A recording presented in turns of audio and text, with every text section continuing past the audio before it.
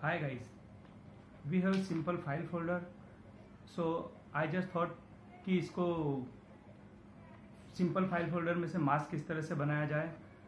सो so, हमें कुछ वस्तु चाहिए like simple file folder classes scissor and punching machine सबसे पहले फ़ाइल फोल्डर में से आपके ज़रूरी कागज़ दस्तावेज़ इसे साइड में आप निकाल के रख दीजिए।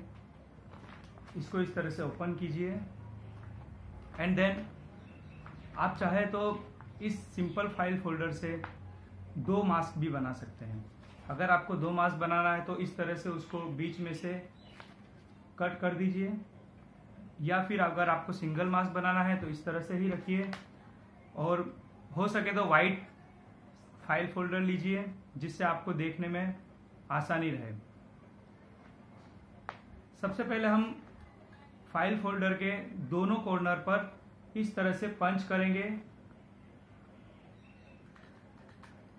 And then second side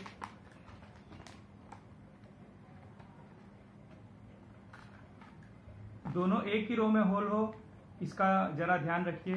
then हम अपने ग्लासेस लेंगे और इस तरह से उसको उस होल में डालेंगे। And then second side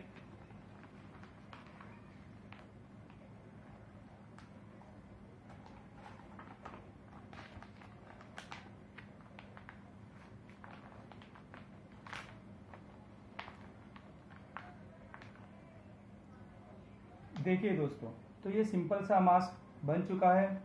so आप जब भी बाहर जाए तो मास्क का यूज़ करें, स्वस्थ रहे, सुरक्षित रहे।